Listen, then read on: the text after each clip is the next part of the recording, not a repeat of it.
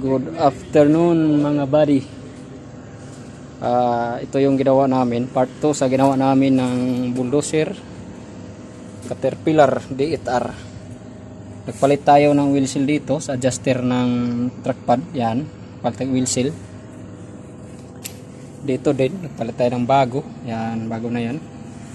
Okay, yan. Tapos ito yung ano, ito yung bagong ito yung bago, ito yung kapon na bago wheel seal yan. Ah, turo ko lang sa inyo paano magkabit nito. Ah, una, itaas to. Itaas to yung itaas yung packet yan. Okay? Tapos ah yung unit pabanti natin. Tapos ah kailangan mayroong kasama tayo na nagtulak at may isa dito dito na banda taga sentro dito para ma sentro maigi itong wheel seal. Kasi kung kunting ano lang kunting kamali ah, pwedeng masira itong wheel seal. Yan. Okay. Kailangan ah, dandahan tayo mag ano nito ah, tulak. Gamit tayo ng tubo or anong pwede natin gamitin para lang matulak na natin ito. Tapos ah, mayroon ding taga sentro dito dito banda okay tapos ah, kung napa pasok na natin to ito naman mayroon tong lock sa loob pin.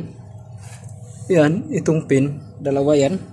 Dapat magkabit dito. Kasi kung hindi natin ma sentro kung hindi natin ma sentro ito hindi papasok yung pin sa loob okay?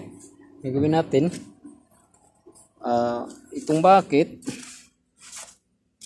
ibaba natin to dandahan tapos ah, ito kusa lang tong tataas. Ngayon um, sentro na to ngayon ang guide may guide po ito dito eh. May guide po ito dito. Okay? Ah, pagtanggal naman ng guide na yan tulad ng dati sinabi ko dapat ah, gamit ng puller. Kasi minsan yung yung puller itong puller gina, ginamit ko pag pag ah, hindi ma- magandang ano ah, lalo na ma- may maganda yung sa loob or may tama na disalign sobrang tigas yung ano sobrang tigas ng ah, pin sa loob. Okay? Dapat ah, taas natin taas baba yung bucket na yan taas baba natin para masinto maigi dito okay?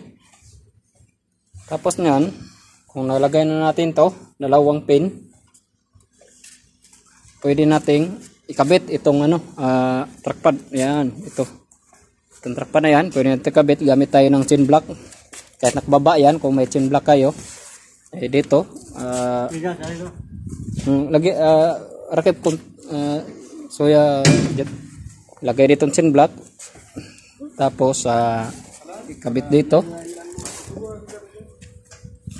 I-hook natin dito yung chin block para tulad dito kung mayroong dalawang ngipin naka ano siya naka na dito pwede na nating ijaka rakip rakip soya soya. Rakip okay. Yan